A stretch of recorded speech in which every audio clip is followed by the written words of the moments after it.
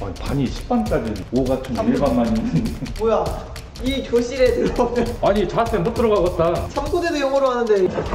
어 안녕하세요. 안녕하세요 아이고 반갑습니다 이렇게 3개 국어 과목이기가 쉽지 않은데 영어, 국어 여기 충남어. 오늘은 외래어 외국어를 일단 기본적으로 안 써야 되고 벌써 하겠어. 가혹하다 영어 쌤한테 네, 쓸 때마다 저기 이렇게 체크를 할 거고 네, 체크한다고요? 팀을 체크. 네, 체크 많은 일점. 네, 한글 노래 가사 관련해서 문제 풀기 대결을 할 거고요 아. 그리고 이거는 벌칙 보상을 해드리려고 1번 문제 훈민정음을 만든 왕은 조선의 몇 대 왕인가 사이좋게 틀렸어요 이거 아니라고? 최정태세 문단세만 생각해 이거 아니면 이거 이거지. 자, 주시고 네, 정답은 4대 왕입니다 언제 바꿨대요? 아니 이름을 또 구분할 수 있게 해줘야지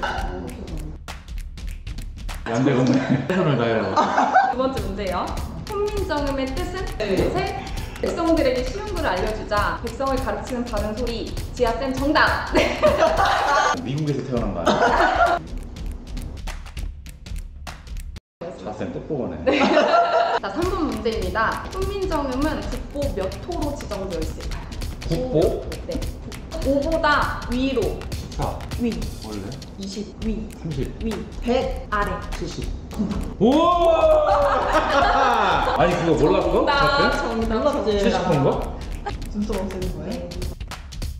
아, 나 시집 못 간다고. 지난주에 그런 춤 춰놓고 시집 갈 거야 딴, 따라라, 따라라. 훈민정음이 유네스코 세계 기록 유산에 등재된 연도 하나 둘 셋 들어주세요 97년에는 네. 한글이 그렇게 않았어 97년에요? 네. 그래요? 2002년 월드컵 하면서 이제 자 정답은요 1997년이에요 네. 문민정부 때 그랬구나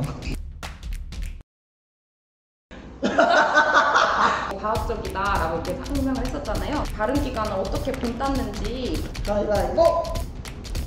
땡 자 보여주세요 좁죠? 어.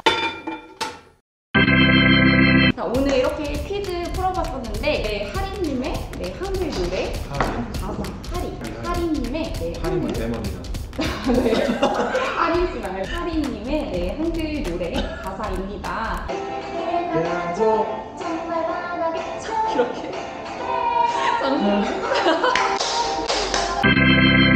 아니 국어생 입장에서 어떻게 해야 될까요? 엄청 오랜 기간 동안 많은 사람들이 써서 국어로 인정받은 게 외래어. 외국어만 안 쓰면 될 것 같아요. 외국어는 아. 충분히 대체될 수 있는데 꼭 그걸 쓰지 않아도 되는 하는 거 있잖아요. 올바른 우리말을 안 쓰면 이렇게 돼요 올바른 말 써요 국어쌤한테 많이 혼나요.